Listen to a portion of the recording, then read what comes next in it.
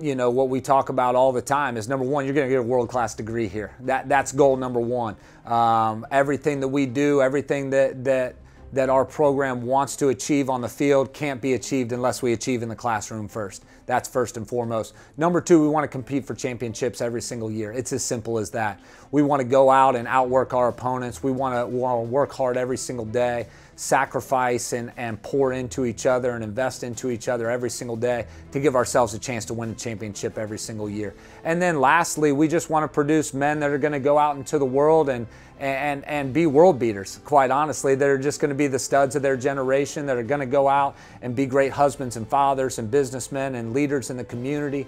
And when we can do those three things, then we're winning. No matter what happens, no matter what the record says, we're going to win when it's all said and done because we have guys that get a world class degree. We got guys that, that have that burning desire to compete at the highest level and win at the highest level. And we got guys that are going to invest in each other and love each other and become world beaters when they leave Campbell University.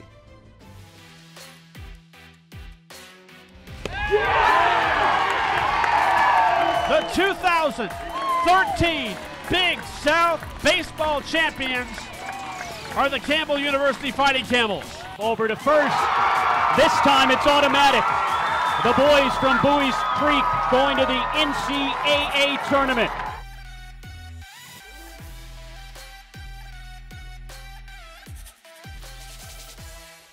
The guys that thrive in this program are, are, are the grinders, the dirt bags, the, the gym rat type guys. Um, those are the type of guys that, that thrive in this program. When we go out and, and we try to find players from all over the country, we really recruit off of four criteria. We look for guys that are good students, we look for guys that have good character. We look for guys that have good work ethic, and we look for guys that are good athletes. And, and, and, when we compare those four things together, when we can find that combination of things and the guys that, that we recruit, we tend to have really good teams.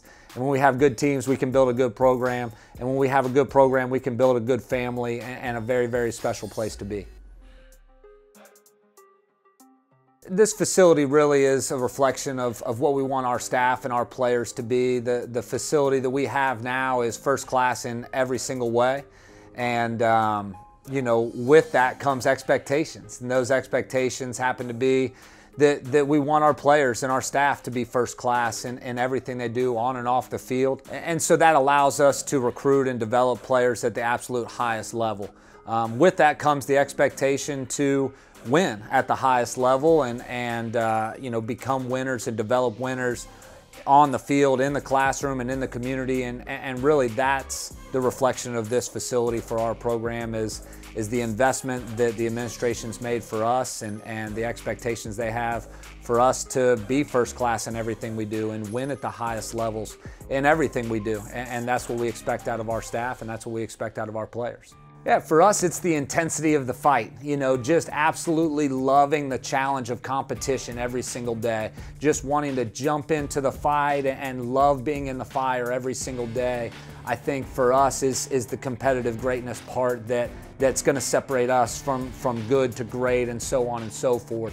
When we just love being in that competitive mindset, whether it's on the field, whether it's in the weight room or the classroom, or playing ping pong or playing video games, just having a bunch of guys that, that just love being competitive, that just love being in the fight, that just love getting in there and getting after it every single day. That's how you define competitive greatness, just having that love for the challenge of competition every single day. And when we can do that and we can find those guys, that sacrifice is worth it. When we sacrifice a lot of time, we ask our guys to sacrifice a lot of time, whether it be you know, out of their personal lives to work hard and give the extra effort. And when we do that, then, then we're able to have success both on and off the field. You know, we talk about a lot in the recruiting process and while our guys are here that, that when you leave Campbell University, you're going to be ready to take on whatever's next, whether that's professional baseball, where we've had plenty of guys have very successful careers and big league careers over the last few years out of Campbell University, but we've also had soldiers and lawyers and doctors and businessmen and entrepreneurs. We've had guys that have gone on to be great husbands and great fathers. And, and when you talk about leaving a legacy and you talk about, you know, when the winds all get wiped away over the course of time, the legacy that, that your program leaves is not the wins, is not the championships. It's the type of men that you produce out of your program. And when we have great husbands and great fathers and great men in the community and great professionals, then that's a good stamp for us. That's the type of legacy that we want to leave. And that's what we've been able to do. And, and that's what we're going to continue to do.